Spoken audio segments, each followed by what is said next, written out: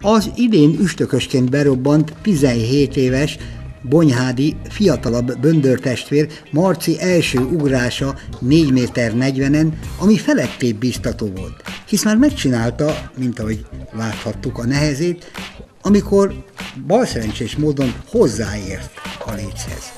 A már 490 centit is átugró a 17 évesek között idehaza a két legnagyobb tehetség egyike, Böndör Márton ezen a versenyen is eljutott a 480 centig. Próbáljuk a mozgást csiszolni, finomítani, új dolgokat tanulni, tehát ennek a kontrollja. Másrészt most ez a verseny egyben szuperliga is verseny, ugye a Magyar Atlétikai Szövetség egyik pénzdíjas versenysorozata, és itt tényleg azt lehet mondani, most az országból azért a legjobbak indulnak ebbe a versenysorozat. Még egy-két felnőtt korosztályú versenyző is színesítette a férfi rudugrás mezőnyét.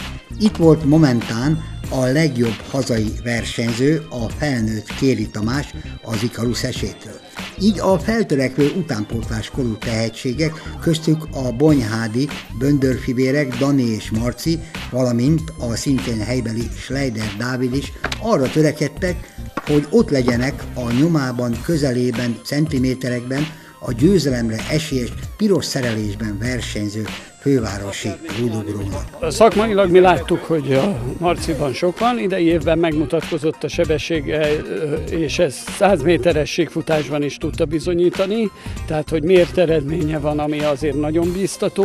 Hát, hogy mondjam, most rajtunk is a felelősség, hogy, hogy ebből a adottságból azért minél hamarabb, hát ne csak az 5 méter legyen a vágyálom, hanem minél hamarabb eljutni az 45-50-ig, mert én azt gondolom, hogy most ez a nagy nagy kihívása a fiú rudugrók előtt. A böndör fivérek közül az idősebb Dani már az U23-as Európa bajnokságon is bemutatkozott, túl van egyébként az 5 méteren, többször is teljesítette ezt.